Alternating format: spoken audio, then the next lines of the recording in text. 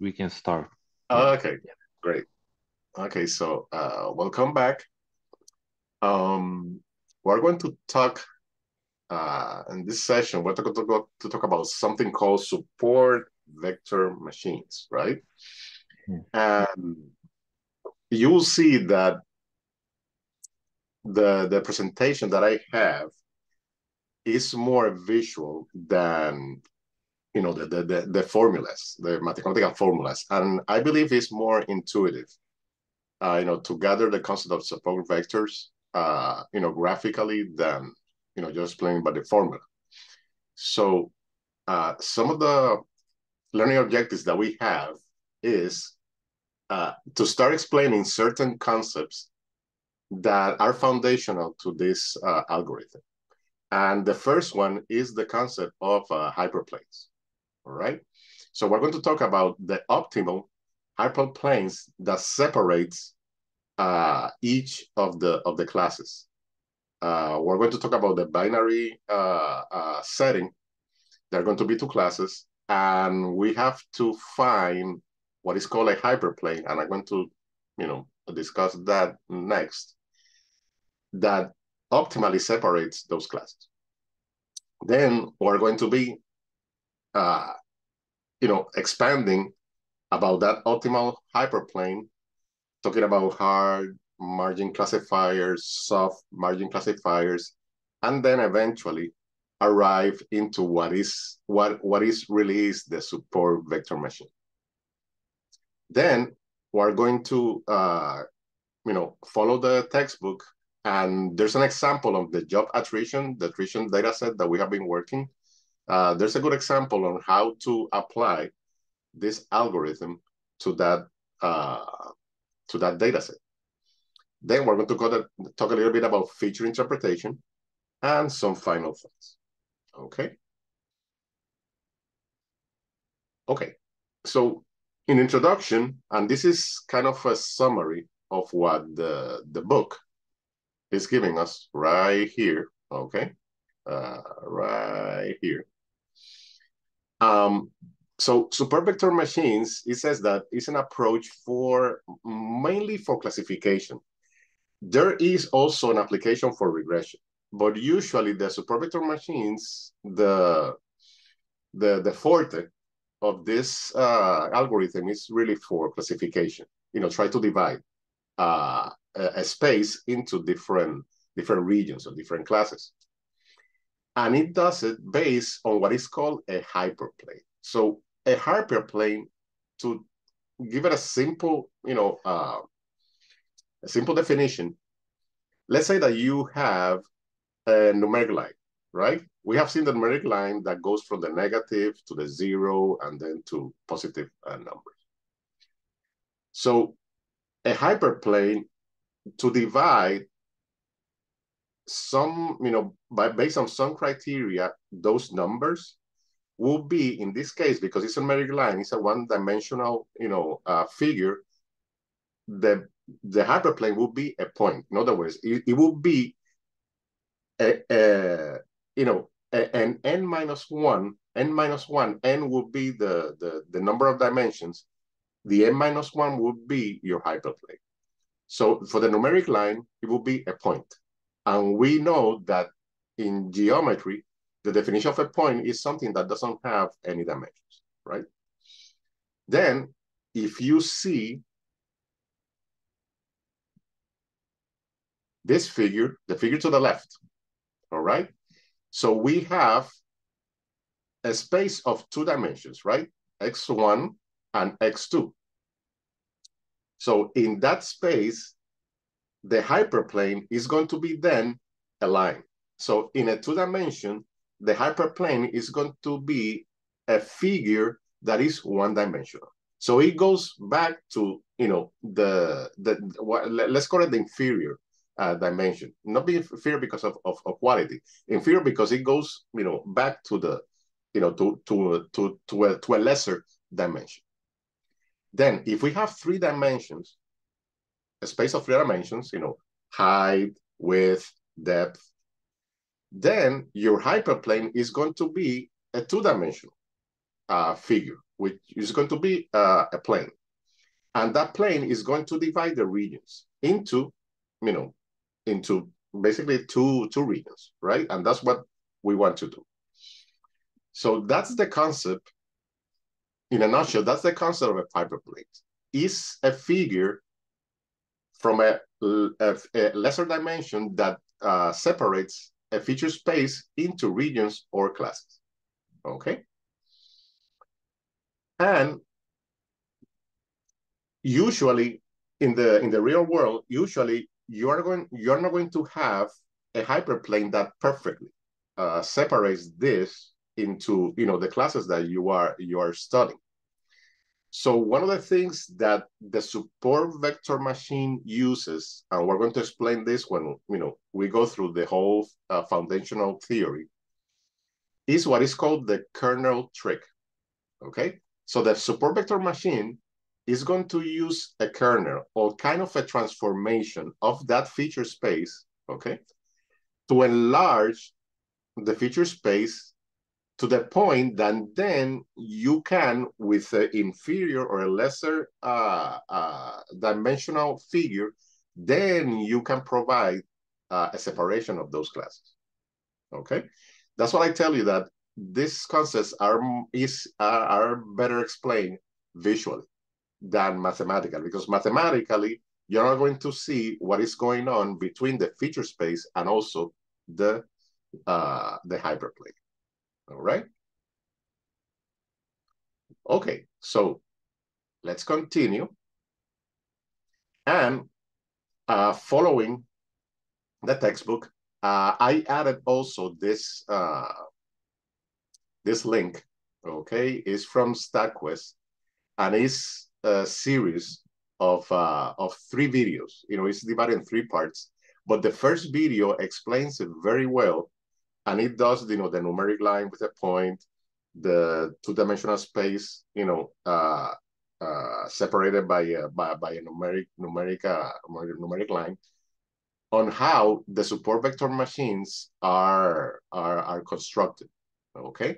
So uh, this is something that you know it's um, it's a must uh, to see it. And it's also fun. Uh, the the author of these uh, videos uh, his name is Josh uh, Stammer, Starmer. Uh, he does it pretty pretty well. Okay. All right. So now that we know the concept of hyperplane, we're going to talk about the what is called the hard margin classifier. So in the example of the of the textbook, we have a situation on some data on the income of a you know of of a, of a, of a, of a, of a subject. We have lot size, so we have you know kind of a let's see you know if if if if, if we can feel you know if we can imagine this, we have a person that has you know certain income. Uh, he owns some land, right? You know, certain uh, piece of land, you know, with the acres or the square meters, etc. And then we add a criteria, okay? In terms of based on the income and the lot size, if that person really, you know, uh, owns a riding mower. So you can uh, figure or assume, assume that with a higher income and a bigger lot size, you know, uh, owning a bigger lot size, then it will be more likely that he will own a riding mower instead of the one that you have to push. Okay. And we have these observations, right? You know, you see a group in the left that is grouped by lower income and lower lot size. And it says, right, no, you know, these points, actually the, the, the owner doesn't have, the owner of the lot doesn't have a riding mower. And then another group. So how can we divide, you know, these classes by by, by hyperplane? Well, because it's a two-dimensional, even though we have a criteria that it kind of, you know, uh, is, is, is a dimension by its own, but really we have two dimensions here. So the way that we can separate this, we can use our uh, logistic regression, right, model, and this is the solid line that we have here, uh, we can use what is called a linear, uh, uh, what is called here, uh, discriminant. I think it's called discriminant uh, uh, analysis. Okay, this one, a linear discriminant analysis, which just this is another algorithm. algorithm. Okay, and you have the one that is kind of you know two dashes and and and and, and a dot right here, and then you have your hard margin classifier which is the one with the dots. Okay, so we have infinite possibilities on the, the configuration of the hyperplane for dividing these two classes.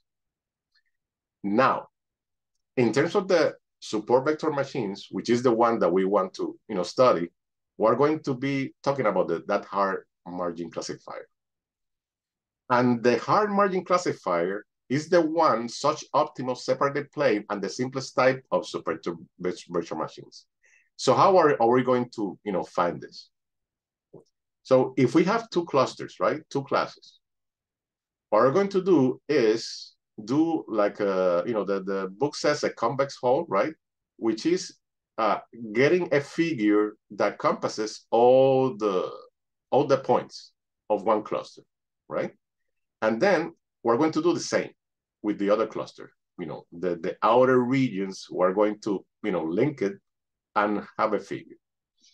So there's going to be a, a point or, or, a, or a vertex, right? There's going to be a vertex on, on that, you know, uh, multigon. It's going to be, that is going to be the closest to the other point of the cluster, right? So what we're going to do is identify those points, the one that are closest to each other from you know those the, the, the different different clusters, and then we're going to draw an imaginary line or, or an imaginary segment. Then we're going to trace our hard margin classifier by in the middle point of that segment, but that is perpendicular, you know, to that to that segment, and that's going to be our hard margin classifier.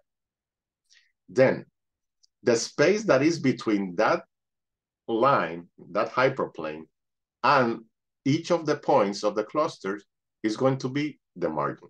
So you have, you know, the, the, the, the hyperplane, and also you have, excuse me, you have also the margin. So that's going to be your hard margin classifier. And as you can see, all the points of each of the clusters are going to be in one or the other side of that HMC. All right? So far with me here? Good? Yeah, good. Good, okay. So let's, uh, you know, throw, throw, throw a wrinkle here. Uh, you know, uh, get, get a little bit more, uh, more complicated. Sometimes this perfect separation is achievable, but not desirable. And what happens when one of the points, let's say that this is our, right? This one is our hard margin classifier, but there's a point that belongs to this class, to the no uh, riding mower class, but is on the other side that is supposed, supposed to be on the yes side, right? You know, that's it, it, it could be an outlier or it could be, you know, so something else that is happening there. So what happens? Uh, our hard margin classifier then is is going to give us, uh, you know, like a false, uh, a false, uh, uh in this case, a false negative, right? Uh, because truly that point is going to be uh, a no point, but then uh, is going to be predicted as a yes. Okay, a yes uh, riding. So it's going to be a, I believe it's a false, uh, a false negative, I believe, you know, in the, in the confusion matrix. So one of the things that you could do is try to adjust, right, your classifier, try to adjust it so that that point belongs to this cluster. But what happens in, in the, in the, you know, what you're doing is that you are trying to adjust that hyperplane based on just one point, okay? And maybe that one point could be an outlier, could be some noise. So in other words, what you're trying to do is trying to get all that information from that you know group of cluster and try to accommodate your algorithm. Uh, what happens when you do that in the real world? We have seen this in the other algorithms when we try to incorporate a lot of information into our, you know, our model. And then what happens when we get new data? That's overfitting. That would be overfitting. Exactly. This is a classic example of overfitting. Okay. You know, you're trying to accommodate all the information that you have when you know when you when the new data data comes, then it doesn't generalize. So this is a, an example of you know what overfitting you know could could look like. All right. So what is the yes? Uh, support vector machine because it's a distance-based algorithm. Yes, it's sensitive uh, to outliers. That's true. So the way that we're going to then you know deal with this is with what is called a soft margin classifier. Instead of the hard uh, uh, margin classifier, we're going to add a parameter that is going to give you some leeway, some leeway to accommodate most of the points in each of the classes, but some of them are going to be left as, you know, false negatives or false positives, depending on how you're dealing with the problem. So in the soft margin, you have what is called a, a C, a cost, a cost parameter, okay? So when C is zero, the soft margin becomes the hard margin classifier. In other words, you know, it's just between those two points that are closer to each other, and then you know you do your math, you know, to get your hard margin classifier and your margins. If you do C as infinite, then it's, it's going to the opposite way. It's going to get all the points in, in the in the margin. All right, all the points in the margin, and you know, is is going to be really uh, a, a, really poor uh, model because it's going to encompass almost everything. okay, so there has to be a way that we can tune this parameter to get the optimum. Okay, based on a metric, right, on a loss function, based on a metric on how you know to trace that margin. Okay, yeah, uh, yeah, it's, it's kind of a it's kind of a buffer. Uh, it's, it's, it's really the margins. Okay, in other words, it, instead of the hard margins that you have between those closer points, you're going to expand that margin to try to accommodate as much as possible without, with, with, with uh, you know, avoiding the overfitting problem. Okay. Good. All right. So, so now, now we're closer to, you know, the, the, the, the support vector machine because now we have, we know the concept of the hard margin classifier we have the soft margin, which introduces the C parameter, you know, the, the, the allowable margin of budget buffer zone, like uh, Ken says. And then the, the, the final piece of the support vector machine is what is called the kernel trick, okay? So in this, and you know, you can delve with, you know, the mathematics of it, but I believe that visually, uh, you are going to, you know, going to get the idea. So let's say that, remember that in the, in the previous problem, we had really two uh, distinguishable classes, right? The ones with the riding mower and the one without. What happens in this space? Okay, so we have the orange, right, that goes around, you know, the perimeter, and then some uh, green uh, points that are a little bit more uh, centered. Okay, so this is our feature space. So what the kernel trick does is that it transforms your space. In other words, it enlarges your space, and it adds, in this case, it adds another dimension. Okay, instead of a two-dimensional, we're going to convert it to a three-dimensional. And now we have this kind of figure, okay? This kind of figure. And as you can see, when we introduce this, most of the orange points are kind of, you know, going, uh, you know, increasing into the X3 dimension and the greens stay at the bottom. So now we can theoretically, you know, uh, construct a hyperplane, which is a plane, in this case, a two-dimensional uh, figure, that can then cut this region between the greens and the oranges, okay? Imagine that I'm drawing like a plane there, okay, to divide the greens and the oranges. That hyperplane then, it goes back to the original, original space that we had, and we're going to get this figure, okay, which is the projection of that plane intersecting the spaces between orange and green. Okay, and it's going to be kind of a circle here. All right. So that's basically, in a nutshell, that is the kernel trick. It's a transformation of the original uh, feature space, trying to get that hyperplane, okay, for uh, formulated in that enlarged feature space, and then go back and project it into the original space. All right. So, what are the most popular functions in the in, uh, the kernel uh, functions for the for the support vector machines? Well, the first one is the radial basis. In fact, that's usually the the, the, the default of that. Then we have the polynomial uh, basis, which is transformation based on you know on, on polynomials on you know powers, and then we have the hyperbolic uh, tangent. I believe there's another one. I've seen it in uh, at least in 3D models uh, which is called uh, linear. Also, we can we can add uh, that one there.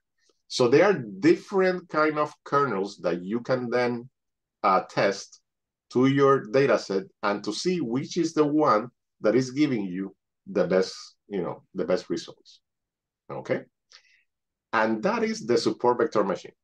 You know, the composition of the soft margin with the combination of the kernel uh, function. All right. Okay, so let's uh, do an example. Before that, we have been talking about binary, right? Classification, but there's some there are some uh, you know problems that uh, deal with more than two classes, multi uh, multi class. So there can be two approaches to use this, uh, you know, support vector machines, and also this could be applied also to the logistic regression, you know, by the way, which is uh, the OVA method, one versus uh, all, which fits uh, support vector machines for each class and classify to the class for which the margin is the target. Then we have one versus one, which fit all pairwises, support vector machines, and classify the class that wins the most pairwise competitions, okay? So this one is kind of, you know, fitting as uh, support vector machines for each class, and then try to figure out, you know, what is the composition of that hyperplane. In the oval, which requires a little more computation, you're going to fit each of the classes, and you're going to choose the one, the pairwise combination that you know gives you the the the, the better the better metric, the better uh, you know the the, the mini, minimizing the, loss function that you're going to use. Okay. All right. So let's go. Okay, one more thing. Uh, one more thing. Uh, I said at the beginning that the support vector machines usually is uh, is uh, applied to classifications uh, uh, problems, but also you can apply it also to uh, continuous, okay, Re uh, a regression, a support vector regression. And what you're going to do here is usually the same thing. The other, the, the, the, the difference is that instead of dividing the classes, because you have a continuous variable, what you're going to do is try to get those margins that have the most points on that on that regression. And of course, there's going to be points outside those margins. Those are going to be your errors, okay? And you're going to have to optimize those margins to try to get the best model that generalizes in that regression continuous line without uh, producing too many, you know, too many points that are outside the margin. It's kind of a reverse. Uh, the support vector regression, the the the mechanism is kind of reverse of the classification. Okay, classification you are separating. Here you're trying to group between between those two margins that we talk about in the soft margin uh, classifier. And there's also a link that, you know, try to explain also visually, you know, how the support vector regression uh, works. Okay. Hmm. Okay, now we go to the to the example. So the example that we have here is our uh, uh, we, we know the example is the job attrition uh, uh, data set. Okay. Uh, we do the same the same thing. Uh, we uh, split our data set, okay, into the training and the testing. And then using the caret uh, framework, we're going to tune because we need to tune to apply the, the support vector machine. We need to tune the C parameter, okay? You know, the, the, the, the, the C uh, figure. And we're going to use the radial basis uh, kernel, that's the default uh, kernel, in a tenfold uh, cross-validation. Okay, so this is the instruction, right? Uh, you have the SVM radial. We're using the kernel uh, package here. Okay, it doesn't show there, but you are using the kernlab package. Uh, one important thing is that, uh, you know, um, similar to uh, linear regression, also KNN, also, uh, you have to uh, normalize your numeric uh, numerical data. So in the pre-process here, in the caret, you have a pre-process uh, function. You're going to center and scale. So that gives you the normalization that you need for the the scale the, the ranges of each of the numerical features. Why? Because ranges that are you know larger than others can influence you know negatively your model. And we're going to do a 10, you know, 10 passes. The tune length is going to be a 10, 10 different values for C, okay? So when you uh, run this, you're going to get this churn SVM uh, object. If we apply the ggplot, kind of a similar to the autoplot that we apply in tidymodels, the ggplot, then you get a graph on the measures of the cost that we use that in that tune length, okay, that's you know randomly uh, assigned, and then you'll see that in this case, uh, the model kind of stabilizes at this point, okay? And apparently this point is around 30, you know, 30, which is the, the which would be the magnitude of the, of C, okay? You can see it uh, in a table here, okay? In a table here, you can see it for, you know, different values of C.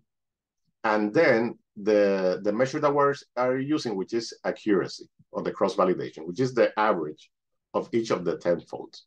So as you can see, the one that really, you know, uh, gets to the maximum and then just stays is that number, 32. All right. So in 32, the C plateaus, which is the highest accuracy and also the highest uh, kappa uh, measure. All right. But as we know, you know, from previous uh, examples that we have seen in different algorithms, uh, accuracy is not your best uh, loss function. Okay, why? Because accuracy is only giving you half of the confusion matrix. Okay, it is giving you the true positives, the true negatives, you add it up and then divided by the total observations. But what happens to the false positives and the false negatives? Okay, this is especially uh, critical when you have imbalance uh, data sets, where you can have a great accuracy measure, but then you are missing in catching some of the minority, uh, uh, you know, uh, classes. Okay, so in this case, okay, uh, we're going to do Okay, uh, one of the things that also the book mentions before going into the into the next step on the job attrition is that uh, most classification algorithms treat misclassification costs equally. In other words, what they're trying to balance is the number of false negatives and false positives, no matter uh, the cost associated with them. And the support vector machines and also, you know, most of the three uh, base models allow you to assign specific misclassification costs to different outcomes. And that is, and that is very uh, convenient because let's say in an attrition model, if you predict that a person is not going to, you know, leave uh, your organization, right? It's not going to churn. But then, you know, uh, the the true uh, outcome of that person is that, you know, it left the organization. Then you have a cost associated with that miss uh, miss miss uh, prediction. Okay, different when you predict that that person is going to leave your organization, you're going to change, but then it doesn't. Okay, so the person is still there in the organization. So the costs usually are going to be less than when the person leaves the organization because it's it's creating disruption in your you know in in in, in your uh, uh in, in your work workflow system. Okay, so that's something that uh, you should be aware that there could be different costs for different misclassifications on your model. Okay, so in this, you know, second, you know, second pass, what we're going to do is that instead of using accuracy as the as the loss function, you know, for try to determine which is the best uh, number for C, we're going to use something called the AUC, okay? Which is the area under the curve, and it's associated with the ROC curve, the receiver's operating char characteristics, okay?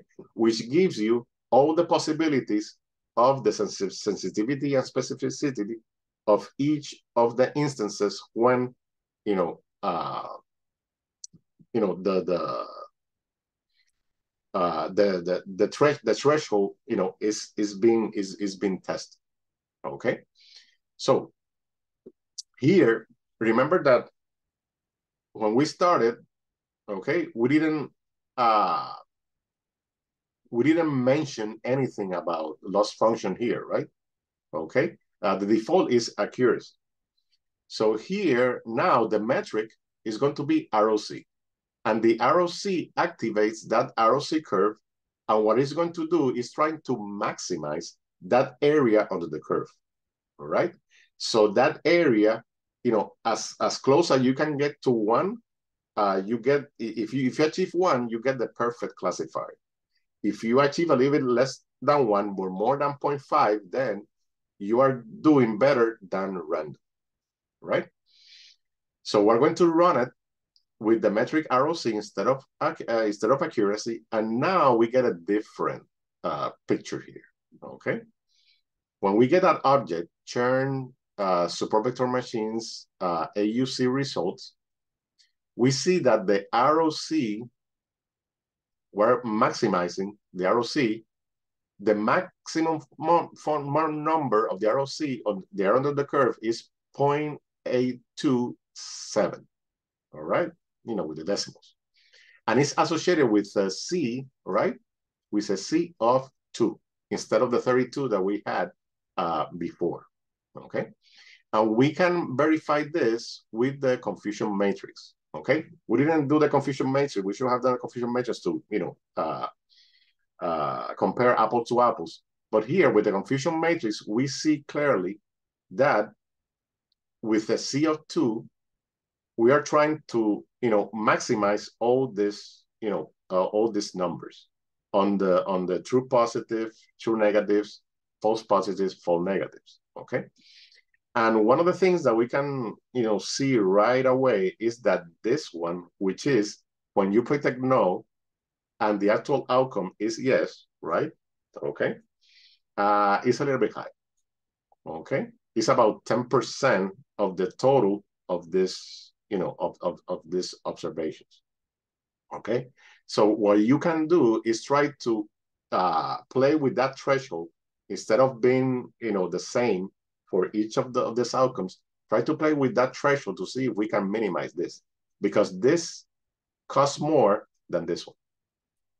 Okay, this is the example that I told you when we predict that the person is not going to leave, but then actually it leaves the organization.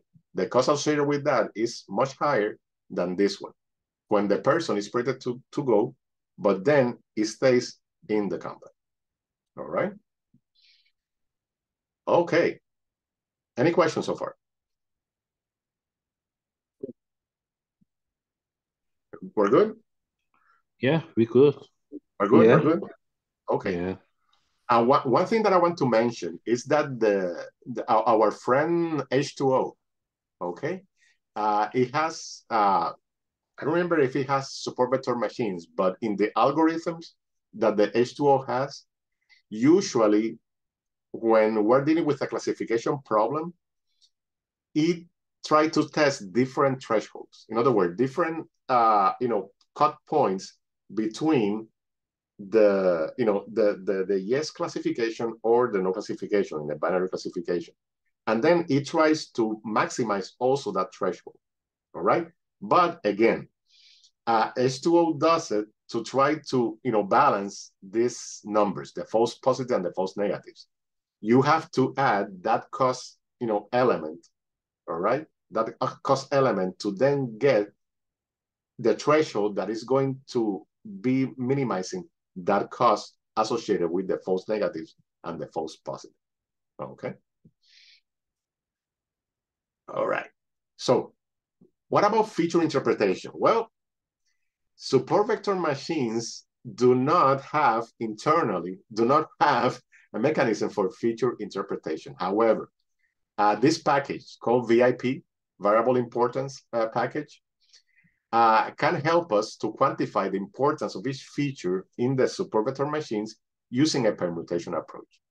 And I got this uh, code from you know one of the Stack Overflows that you know was mentioned that SVM, how can you calculate feature uh, importance or variable importance with support vector machines? So this was the their answer. So you get this function, right? That you're going to apply within the VIP uh, you know, uh, uh, function of the VIP package, you're going to have this function that what it does is that it calculates the predictions for the class that you are interested. In this, in this case, the class is yes. Okay, if it's going to churn or not. Then you're going to, you know, uh, put these parameters in place. You're going to do kind of a simulation here, okay? Uh, a simulation of five for the permutation. Uh, the target is going to be attrition, which is one of the, the, the, the response variable in this case. The metric is going to be uh, the same one as the ROC, AUC. The reference class is CS, and then the prediction wrapper is going to be this function. Okay, so when you run this, then you get this plot, which is similar to the plots that we have seen before, but this one, you know, requires a little bit more, you know, uh, uh, more, uh, uh, you know, uh, development. So here, what we see is that globally, the model is using the first feature that is using to separate the classes is overtime. Okay, so uh, persons that have you know more overtime than others are going to be more likely to churn than the ones that are not in overtime. The same thing about job roles. There's some job roles that are more uh, uh, you know, uh, prone to uh, churn than others, and business travel also. Okay. So to complete the picture, uh, we have some partial dependence plots, which is the prediction for each of the, you know, some of the variables that we have uh, interpreted as important. So for example, in overtime, you see that there's a big difference between the ones that have, you know, have, have been in overtime and the ones that have not. And you see the probability that really jumps here compared to the other class. Then in the job role, you see that some job roles are more, uh, the probability is higher than others in terms of churning. And you see, for example, human resources, you see labor, laboratory technician, you see sales representatives, etc. So these jobs are, you know, more probable to churn than others. And we can keep going using that analysis. All right. So, final thoughts. What are the advantages of the support uh, vector machine? Well, support vector machines that you can see is very flexible. Okay, depending on the kernel that you're using, you can separate, draw different types of hyperplanes, not necessarily linear, uh, different hyperplanes that can then, you know, do a good separation between your classes. Uh, support vector machines using the kernel, using the kernel are relatively robust uh, to outliers compared to the hard, you know, margin classifier that we that we you know that we study, which is not that robust. But when you incorporate the C parameter, you incorporate the the kernel trick, then you know you have some robustness there. And uh, like I said, depending on the kernel function, they're very flexible and adaptive. So what are the disadvantages of it? One of the disadvantages, and that's why you don't see that much support vector machines in you know the machine uh, learning uh, world, is that it's not scalable. Okay, uh, you know as as you get more to big data, let's say uh, you know uh, 100 million, 100 million observations, uh, the support vector machine is going to be too uh, you know uh, too cumbersome uh, to you know to run okay, because of the math involved in the kernels and trying to get that, that hyperplane separations. Also, the support vector machines produce class labels, not class probabilities. And that is something that even though there could, there could be some adjustments, like the one that I did with the feature importance, there could be some adjustments, you know, to get some class probabilities. Uh, the model really is not you know, uh, originally uh, engineered for that. And usually you, you, you have uh, an advantage when you get the class probabilities because then you can adjust your threshold, your cut, cutoff point. And also requires special procedures to handle multinomial classification problems. And the ones that I uh, told you are the ones that are used, the OVA, uh, one versus all or one versus one. Okay. So that's basically it for the support vector machines.